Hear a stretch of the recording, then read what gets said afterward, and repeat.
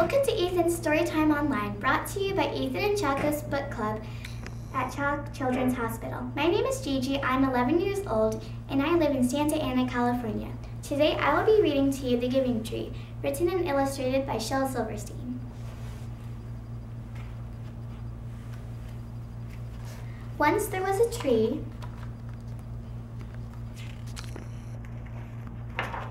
and she loved a little boy. And every day the boy would come and he would gather her leaves and make them into crowns and play king of the forest. He would climb up her trunk and swing from her branches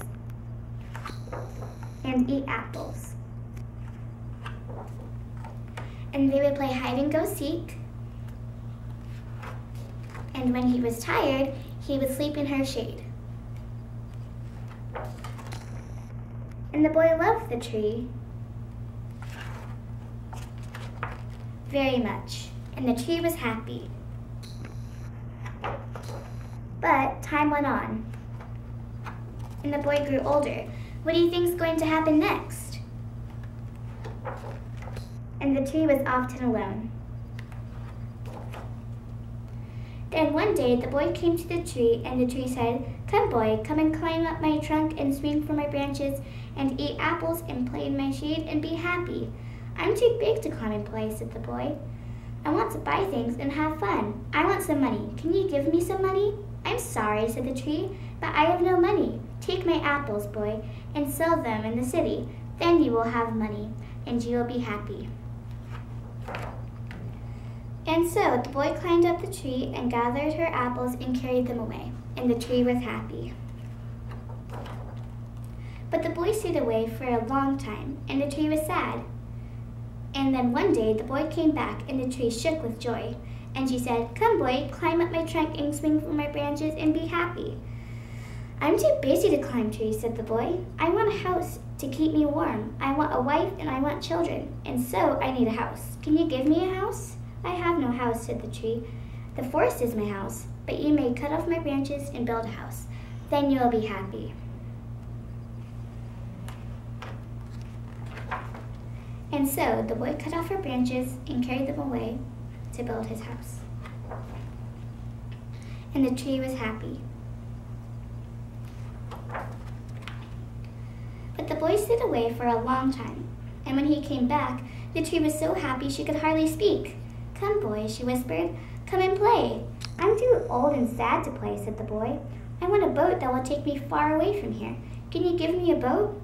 Cut down my trunk and make a boat, said the tree. Then you can sail away and be happy.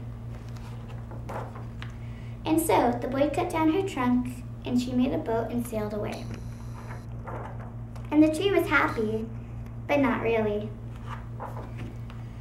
And after a long time, the boy came back again. I am sorry, bo boy, said the tree, but I have nothing left to give you. My apples are gone. My trees are too weak for apples, said the boy. My branches are gone, said the tree. You cannot swing on them. I'm too old to swing on branches, said the boy. My trunk is gone, said the tree. I'm too tired to climb, said the boy. I'm sorry, said the tree. I wish I could give you something but I have nothing left. I am just an old stump. I'm sorry. Don't need very much now, said the boy. Just a quiet place to sit and rest. I am very tired. Well, said the tree, straightening herself up as much as she could.